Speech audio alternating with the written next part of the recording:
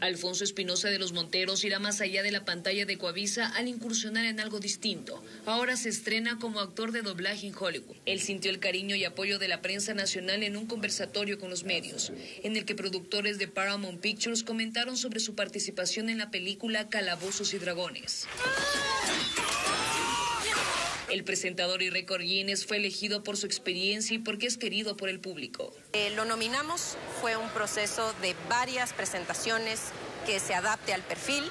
Eh, una vez que nominamos como Paramount Pictures Ecuador, ya región, que sería Paramount Pictures en eh, Hollywood, en Los Ángeles, hacía la selección por cada uno de los países. Nosotros obtuvimos un papel de los cinco que teníamos disponible, teniendo tres mexicanos y un panameño.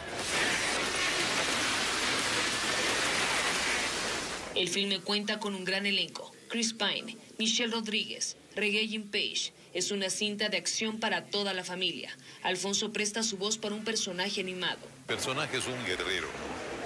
Como es una película donde hay muchas batallas y muchos seres míticos, en fin.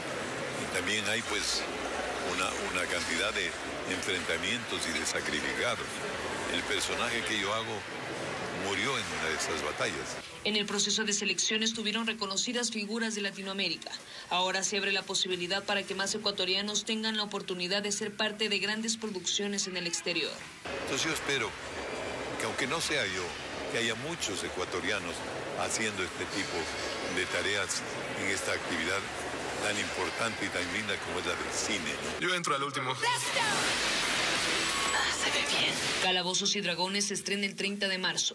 Tendremos a nuestro representante ecuatoriano Alfonso Espinosa de los Monteros en la alfombra roja de la premier de la cinta en México.